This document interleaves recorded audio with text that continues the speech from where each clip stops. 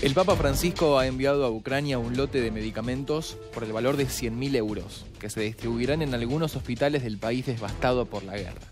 Esto lo informaron desde el Vaticano a través de la página web de Noticias Oficial. En un nuevo gesto hacia las personas que sufren consecuencias de este conflicto, Francisco envió el pasado sábado al país medicamentos de primeros auxilios, destinados sobre todo a los heridos de la guerra, por el valor de 100.000 euros. Según informó el Vaticano, la donación es fruto de una importante donación mayor que llegó a la Elmosinería Apostólica a través de una embajada en la Santa Sede. No se especificó del todo su procedencia.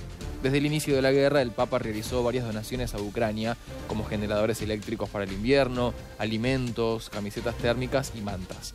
Una manera de estar al lado de un pueblo en grandes dificultades, probado por más de dos años de conflicto. Esto lo señaló el Vaticano y ha recogido esta información Vatican News, el sitio de noticias oficial.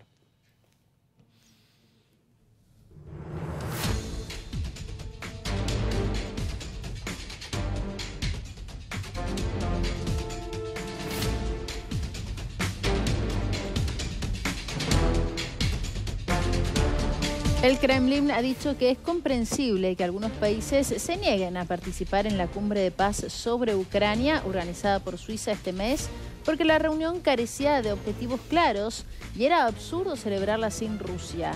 Ucrania dice que más de 100 países y organizaciones han acordado participar en la cumbre los días 15 y 16 de junio.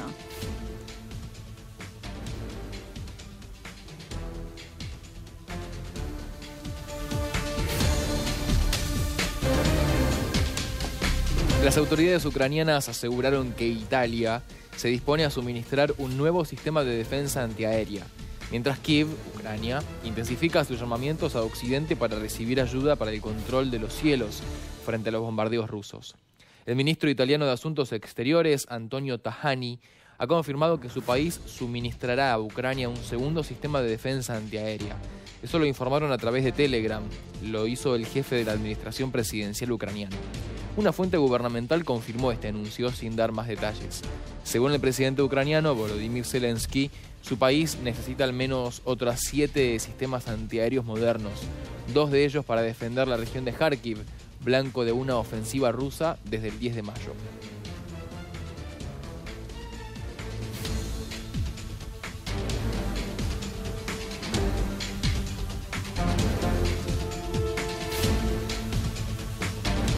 Tras recibir permiso de sus principales aliados para utilizar el armamento que le envían dentro del territorio enemigo, Ucrania ha reivindicado su primer ataque con el material de sus socios contra un objetivo militar situado dentro de la Federación Rusa.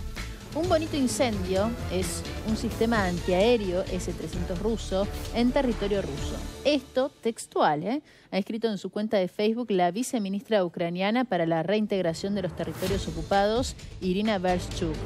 El mensaje va acompañado de una foto de una unidad de equipamiento militar ardiendo, primeros días después del permiso para utilizar armas occidentales contra territorio enemigo. Esto también agregó la viceministra.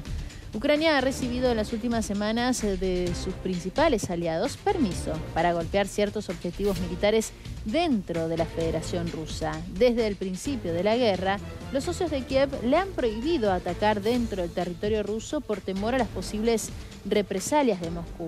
Esta limitación no incluía a los territorios ucranianos ocupados por Rusia.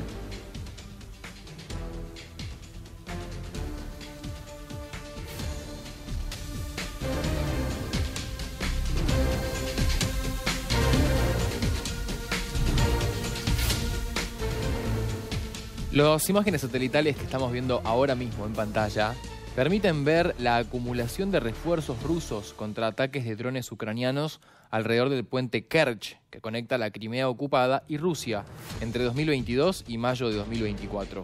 Según Maxar Technologies, que envió estas imágenes directamente a Storyful, muestran algunas de las barreras que se han erigido alrededor de la principal, el principal canal de navegación en ese estrecho. Ucrania utilizó drones navales para atacar la infraestructura rusa desde septiembre de 2022, según informes de prensa ucranianos. En mayo del año 2024 surgieron en Telegram informes sobre refuerzos rusos contra drones navales ucranianos alrededor de ese puente. Según el canal Crimean Wine Telegram, los refuerzos se fabrican con pequeñas barcazas.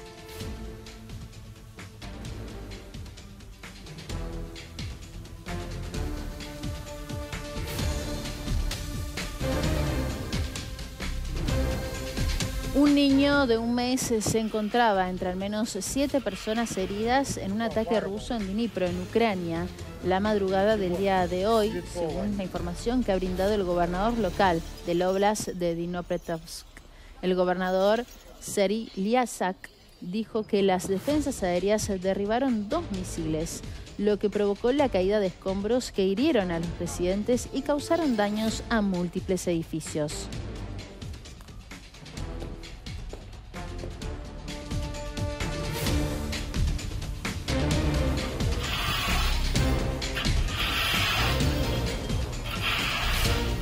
water bottle.